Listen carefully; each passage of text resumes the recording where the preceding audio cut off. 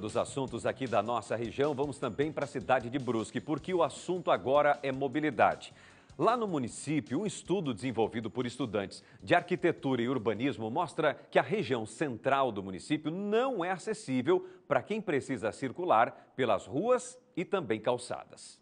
Ruas, calçadas, pedestres, ciclistas, motoristas e a paisagem urbana fazem parte do estudo de cerca de 20 alunos do sétimo período do curso de Arquitetura e Urbanismo de uma universidade de Brusque.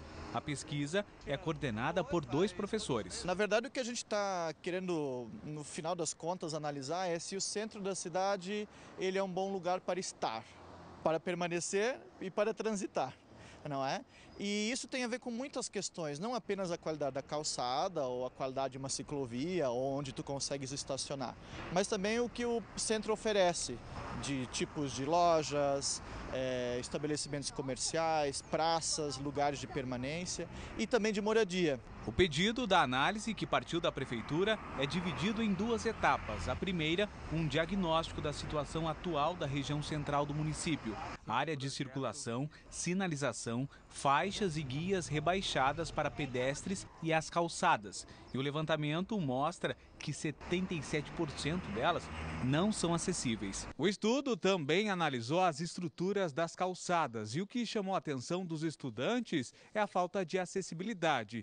De um lado, o desnível, já do outro lado, um poste no canto do piso podotátil. 17 ruas no centro foram analisadas e mais de 80% não têm acessibilidade para quem caminha, é guiado ou circula com algum veículo. São calçadas desniveladas, ruas estreitas que não seguem um padrão. O comércio se desenvolveu, mas a estrutura não mudou. E o Edésio sabe bem disso. Está por aqui no mesmo endereço há 54 anos. Para o nosso lado aqui melhoramos, porque era só meio barro, meio coisa. Então fizemos, faz uns 3, 4 anos, essa calçada desde lá daquele prédio até a esquina. Isso tudo melhorou. Só que aí você olha assim para lá ou para lá, como é que tá essas calçadas? Olha ali, olha as rampas. Outra coisa, olha aqui onde é que está esse poste. Esse poste aqui já está aqui há alguns anos. Principalmente a gente vê quando vem os cegos com a palpa. Ele chega aqui, ele bate aqui sempre. Só que ele já conhece, então bate, desliza. Mas isso aqui é certo? Penso eu que não. Isso tudo pode ser melhorado, na minha opinião. O raio-x da região central de Brusque considerou ainda as condições das ciclofaixas, vagas de estacionamento e transporte coletivo. Para as estudantes que participaram da pesquisa, a discussão levantada pode fazer toda a diferença. E é muito bacana a gente estar participando desse processo é, de resolver realmente uma problemática na nossa cidade, né? Hoje, me aprofundando nesses estudos, né, no assunto, percebo já muito, com muito mais clareza o quanto que precisa ser melhorado, né?